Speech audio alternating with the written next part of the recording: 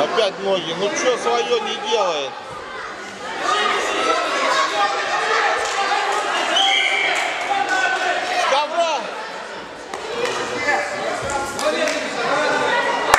Молодец!